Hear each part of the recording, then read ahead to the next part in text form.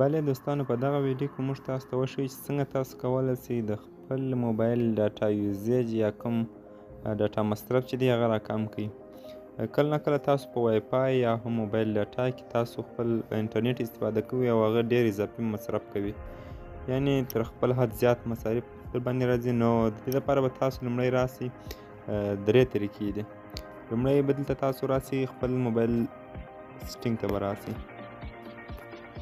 به تاسو سټینګ ته راسي کله چې تاسو سټینګ ته راغلاست دغه نه وروسته به دلته تاسو راسي دا کنه وای فای کنکشن چې کوم دی په دې باندې به کلیک وکړي هر کله چې تاسو پر دې باندې کلیک وکړئ دلته به تاسو راسي دا ډاټا یوزیج کوم دی دا باندې به کلیک وکړئ همدې باندې دلته تاسو راسي موبایل ډاټا هم نوي شته ده همدارنګه لاندې راسي وای فای ډاټا هم دا وای فای ډاټا ده که چیرې تاسو وای فای استفاده کوئ دلته به تاسو راسي هغه موستلی هغه ډیر استفاده کوونکي اپس چې کوم دی هغه پر هغه پر بیکګراوند باندې تاسو ډاټا دلته دا رقم الاو وي تاسو به دا بند کړئ ځینې دغه تر ټولو چې زیات مصرفوونکي اپلیکیشنان دي اپس دي پر هغه باندې تاسو د بیکګراوند ډاټا چې کوم ده دا پر بند کړئ دا ډول وي تاسو به دا داسې بند کړئ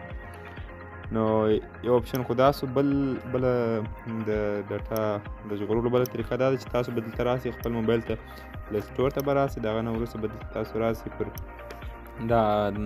خپل اکاونټ به راخلاص کړئ او دلته تاسو ته نوشته دي سټینګ ته هر کله چې تاسو دلته سټینګ ته راسئ دلته به تاسو راسئ نیټورک ریکوایرمنټس پر دې باندې به کلیک وکړئ کله چې تاسو پر دې باندې کلیک وکړئ دلته تاسو نوشته اټو اپډیټ اپس دغه اټو اپډیټ کوم دی دا به تاسو دپاره به یا هم پر اپډیټ وت وای فای اینډ موبایل ډاټا په دواړو باندې به تاسو دپاره داسې اون وي خو که چیرې تاسو پر اپډیټ اور وای فای اونلی باندې کلیک کړئ دا به دلته